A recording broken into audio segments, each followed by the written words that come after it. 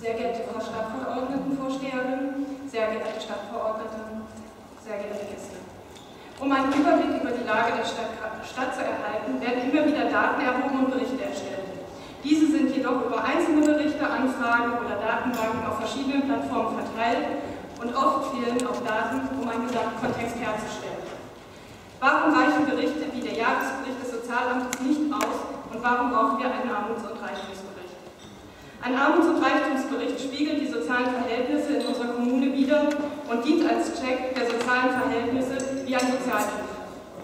Armut kann nicht alleinstehend betrachtet werden, sondern die Relation entsteht immer im Zusammenhang mit sämtlichen gesellschaftlichen Verhältnissen. Es reicht nicht aus, mit einem Teleobjektiv Daten zur Erwerbslosigkeit zu betrachten, sondern es müssen die komplexen Auswirkungen auf Gesundheit, Bildung, soziale, politische und kulturelle Teilhabe analysiert werden. Sozialer Ungleichheit kann nur entgegengewirkt werden, wenn sie aufgedeckt wird. Und genau dafür müssen auch die Verhältnisse des ökonomischen Mittelstandes und der Reichen betrachtet werden. Denn diese geben den Lebensstandard einer Gesellschaft vor, zu dessen Teilhabe der armen oder armutsgefährdeten Bevölkerung der Zugang verwehrt ist. Wie Sie wissen, sprechen wir in unseren Breiten in erster Linie von relativer Armut. Und ausgeschlossen sein hängt dementsprechend von den nicht zugänglichen Möglichkeiten, die anderen zur Verfügung stehen. Schauen wir uns beispielsweise die Möglichkeit der Freizeitbeschäftigung von Kindern an, muss auch betrachtet werden, wie viele Kinder aus welchem, aus welchem Einkommenssegment den Zugang zum Erlernen von Musikinstrumenten haben. Aber ebenso sind auch die unterschiedlichen Sportarten von Tennis bis zum essentiellen Schwimmunterricht in den Augenschein zu. Es würde auffallen, dass diese kaum von Kindern aus einkommensarmen Haushalten genutzt werden. So können das Beratungsangebot, könnte das Beratungsangebot angepasst werden, dass es auch möglich ist, im Rahmen von Bildung und Teilhabe ein Musikinstrument anzuschaffen oder die Ausrüstung für den Sport zu finanzieren. Ebenso könnten als Schlussfolgerung Maßnahmen zur Aufklärung gestaltet werden, dass es möglich ist, die Fahrtkosten zu den weit entfernten Schwimmbahn zu übernehmen und bei der Beantragung zu helfen. Gerade Entscheidungen, die eine Einzelfallbetrachtung benötigen, stellen eher eine große Hürde dar, dass sie nicht in Betracht gezogen werden.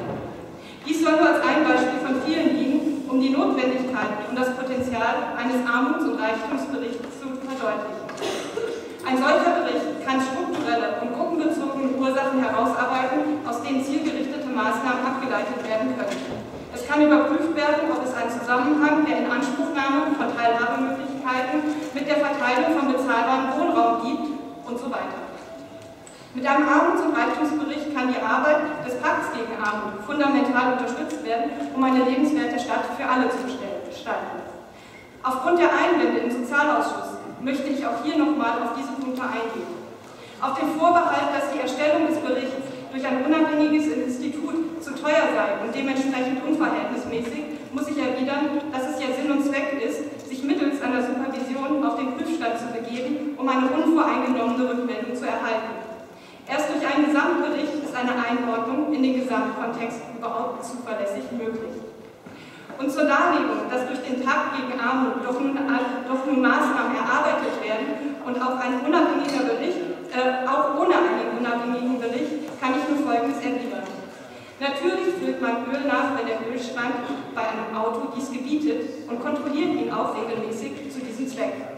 Ebenso wird eine Werkstatt aufgesucht, wenn der Keilring quietscht und man selbst nicht in der Lage ist, das Problem zu beheben. Dennoch muss das Auto alle zwei Jahre zum TÜV, um prüfen zu lassen, dass nicht doch ein unentdecktes Problem die Verkehrssicherheit gefährdet. Ich möchte nicht behaupten, dass die Stadt untätig sei, aber stellen Sie sich bitte den Straßenverkehr vor, wenn die unabhängige Überprüfung durch den TÜV abgeschafft werden würde.